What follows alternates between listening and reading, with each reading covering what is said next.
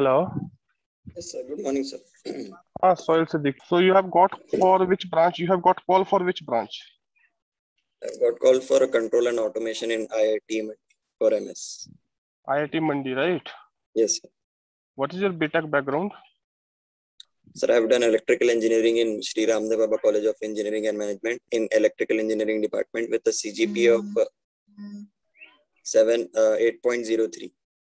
And my Okay, grades, so so let's start with your snap for a control system, right?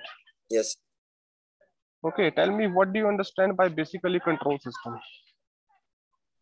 sir. Control system is a uh, control system has two words. First of all, we derive a mathematical model for any system and we apply control techniques to control that system.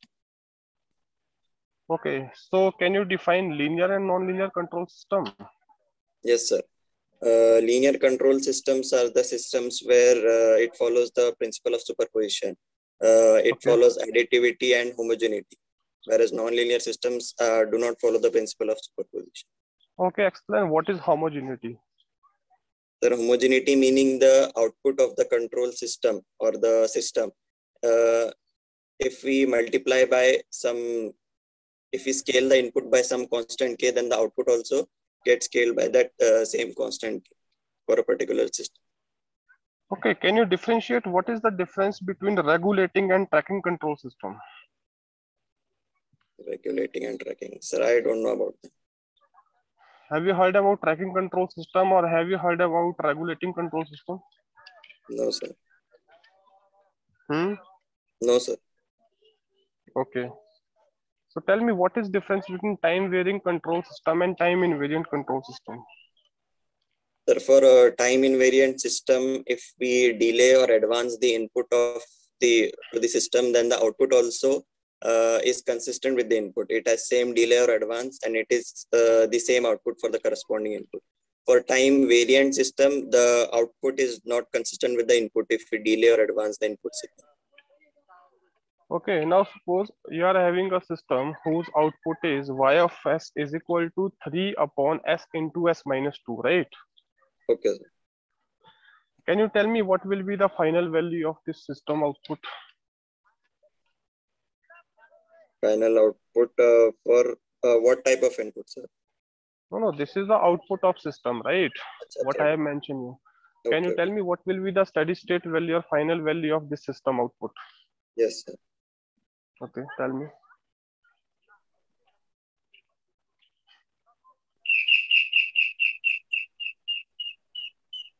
Sir, it would be minus 1.5.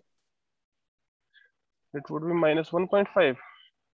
Okay, Yes, now do one thing. uh, tell me what will be the output in the time domain. This what I have given, this is in the frequency domain, right? Yes, sir. Tell me what will be output in the time domain now. So first I take Laplace inverse of this function. Okay, tell me and uh, take and tell me final expression. Okay,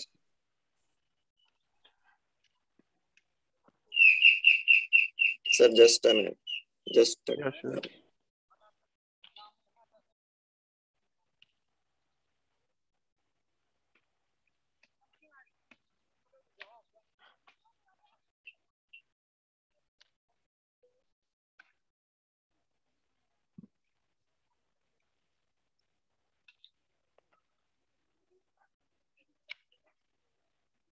Yes, Soil. Are you doing? Hello, Yes, Soil, am I yes, sir. Yes, sir. Okay, okay, tell me.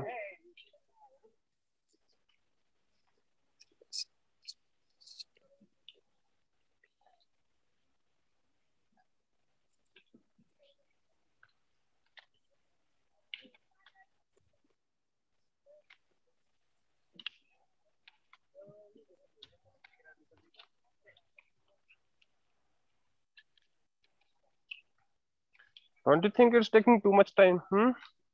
Yes, sir. Just a. So the uh, output in time domain, it is coming 1 point minus 1.5 into ut plus 1.5 into e to the power 2t into ut. Now tell me whatever answer you know you told me for steady state value. Do you think that uh, that is satisfying this time expression? No, sir. The steady state would go infinite. Then don't you think that uh, you have applied the final value theorem? Do you think that the final value theorem is applicable for this system? No, I think this is applicable for the system, only stable system, right? Yes, sir. Hmm? Yes, sir. Okay, Uh, can you tell me some of the application of the final value theorem? What are the other application of the final value theorem? Other applications of final value theorem. I don't know, sir, any other application. Okay, define the DC gain of the system. What do you understand by the DC gain of the system? Uh, DC gain of the system is the uh, constant gain or gain uh, when we convert the control, uh, the transfer function into time constant. See, don't define me mathematically. Just uh, give some practical interpretation. That is fine. You have defined me mathematically, right? Yes, sir. But practically, what we can say?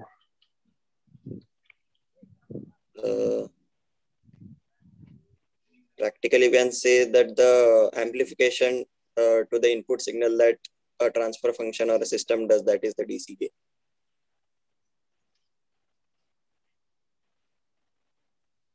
Repeat it. What you told me, please.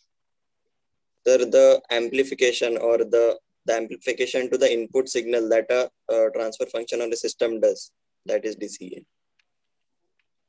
No. Then what is AC gain? That is you define the gain only, right? Yes, sir. what is the you know significance of dc in that term okay whatever you told me that is fine that is fine with respect to the gain okay Yes, sir. At zero frequency, uh, the gain at zero frequency uh, done by the transfer function is DC gain. okay so don't you think that final value theorem can also be used to calculate the dc gain of the system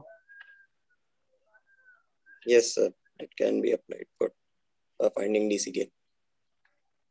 and see when you are defining the dc gain na, so, so you can't be very mathematical as you were okay see dc gain of the system is the ratio of output of the system to its input after all the transient have decayed all the transient have decayed means now it is in the steady state Steady state. so whatever you told me that is fine from mathematics point of view right Yes. but uh, you need to be you know a bit uh, aware about what should be the answer if they ask you practically because you are going as an electrical engineer. So your answer must not be much numerical oriented. Like if they ask transfer function sir it is the ratio of output of one input. So you need to give some practical information right? Obviously why i'm saying this reason being suppose uh, they ask very basic question. What is the pole of a system? If they will ask this question from 10 students so obviously out, uh, uh, 9 out of 10 will answer the right you understand this one? Okay. Yes, sir. but someone someone will say sir it is the roots of denominator. Someone will say something someone will say something. There will be only one and two students who will explain the physical significance that actually they were looking into. That is why when the term they are asking that is quite simple and easy to you. So don't try to be very mathematical okay? Okay if you don't know anything then it's okay. Then you need to tell whatever you know right? Okay. Okay Okay. okay now suppose you are having a first order system okay Okay. then if i apply a step input to the first order system Hmm. can you tell me what will be the time rate of change of output at zero Time rate of change of output at t equals to zero. and second what will be the steady state error Steady state error. Okay Okay, sir. tell me please Uh, sir, the dy by dt is zero and steady state error is one.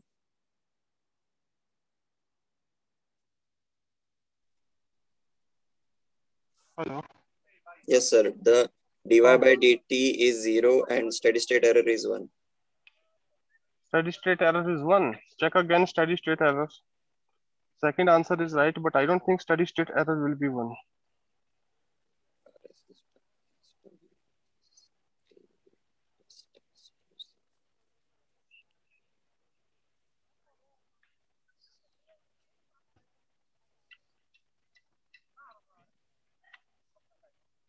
Sir, uh, should I answer in terms of k kp how steady state error will be one tell me. What will be your output? Your output will be for the step input a into if i take some a step right?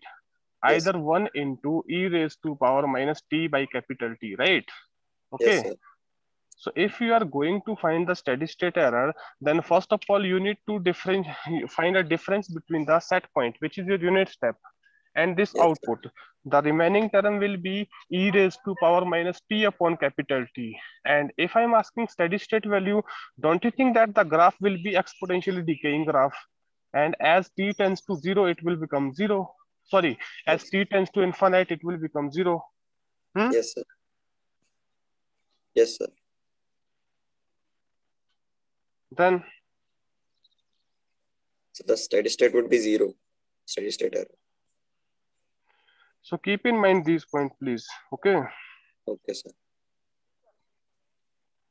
Okay, suppose you are having a phase lead lag network. Have you studied about this? yes sir Okay, you are having a phase lead lag network. Okay. Hmm.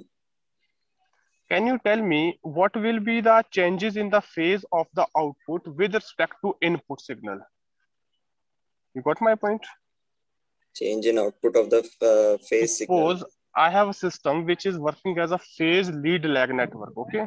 okay. And I am giving some input. Then obviously I will get some corresponding output, right? yes sir yes sir My question is, can you comment on what will be the, you know, change in the phase in the output signal which we are obtaining after the, you know, passing through phase lead lag network? Any comment on this?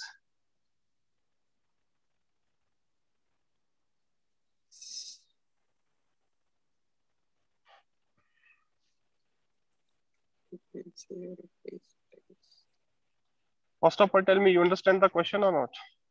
Yes, sir. Uh, sir, the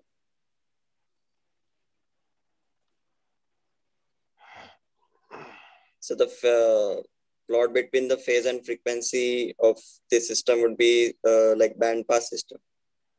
For a particular between a particular frequency cut of frequency, the phase will be No, that is uh, band pass. You can say with reference to amplitude. I'm not asking what will be the effect on amplitude. Okay. I'm asking what will be the effect or what will be the changes in the phase of system which we are getting at the output of the system. Can you tell about that? no, sir. I'm unable to. See, if you know what is the phase versus frequency plot of lead lag network, for that, first of all, you must be well aware of what is the pole zero diagram. Okay. Yes. And you know, if I'm passing any signal through the phase lead lag network, then there will be lead in the phase at the lower frequency signal and lags in the phase of the higher frequency signal. Isn't it like this? Yes, sir.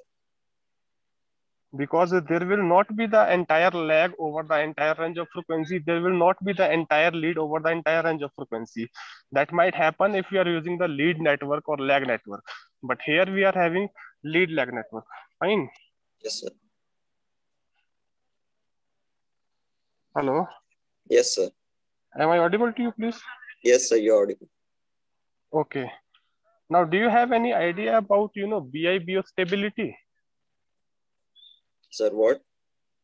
BIBO stability, BIBO stability. B- Yes, sir. Bounded input, bounded output. Tell me, what does you mean?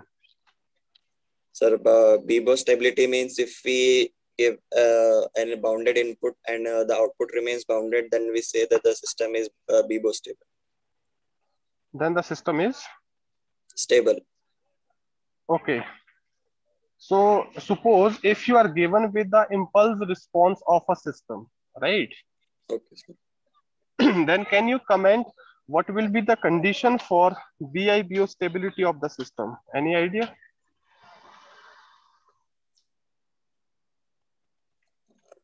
Impulse response. of the system.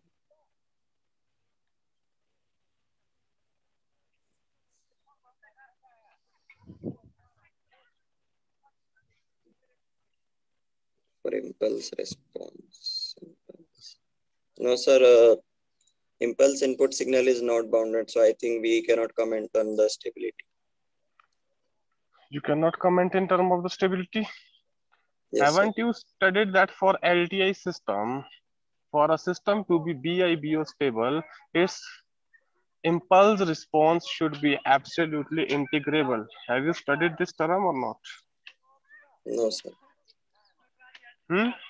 No, sir. See, while analyzing the system, we can analyze system either in term of the differential equation, we can analyze the system either in term of the impulse response, we can analyze the system either in term of the transfer function, right?